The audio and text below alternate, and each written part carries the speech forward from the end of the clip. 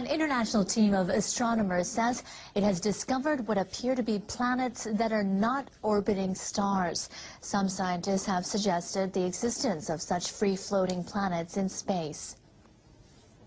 The team, which includes researchers from Japan's Nagoya and Osaka universities, says it has discovered 10 such suspected floating planets. The planets each have a mass approximately equivalent to that of Jupiter. The discoveries were made over 18 months, starting in April of 2006, using a special telescope at an observatory in New Zealand. The researchers say the discovered celestial bodies must be floating planets because, unlike fixed stars, they do not emit light. They say they found no fixed stars near these planets. The discoveries are a step toward learning how planets were created and how they develop. Some scientists expect that a NASA surveyor to be launched in 2020 will be able to capture images of these floating planets. Imagine a planet floating freely through the universe, not orbiting any star. Well, astronomers think they may have found one, and it's only 100 light years from Earth.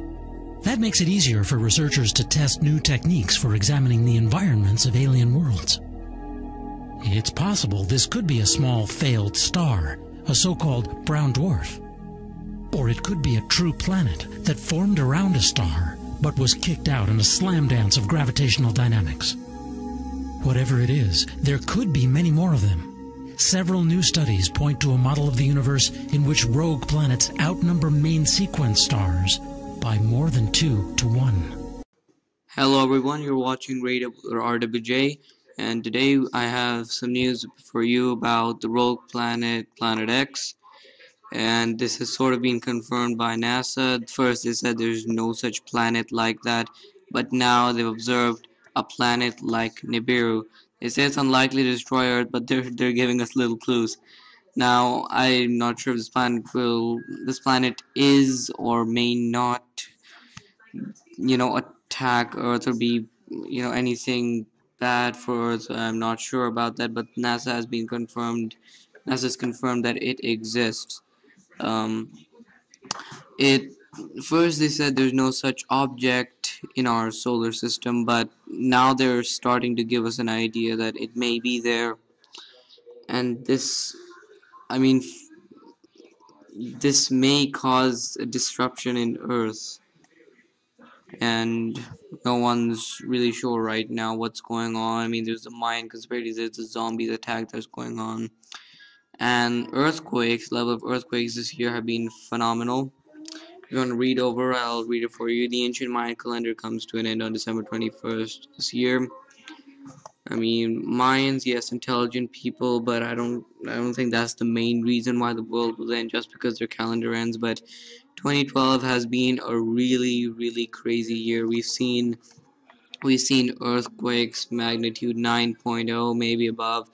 I and if you have the earthquake app, you can get that for Windows and and even iOS. Um, you can see uh, the amount of uh, six and five point six earthquakes um, on the Richter scale that are happening these days. It's every single day you have one or another 6 or 5.6 earthquake and the amount stuff that's happened. And there's an asteroid DA14 is going to come really close to our solar that's to come really close to earth. And the scientists are saying it's not to impact but no one knows. No one knows yet what's to happen I guess we just have to wait December 21st, 2012 because right now um not much I mean lots has happened. You can't say nothing has happened this year. I mean this is certain this is a really big global change. You can't say what is happening this year is a normal change. This is a global catastrophe. I mean I I don't want to sound like one of those really weird people saying oh the world's gonna end and, and stuff like that but well the facts are there so I'm just giving it to the people, showing them, you know, what's happening in today's world. So yeah, so this has been a little a little video about telling you about that NASA has confirmed planet like Nibiru uh, or Planet X, whichever you may.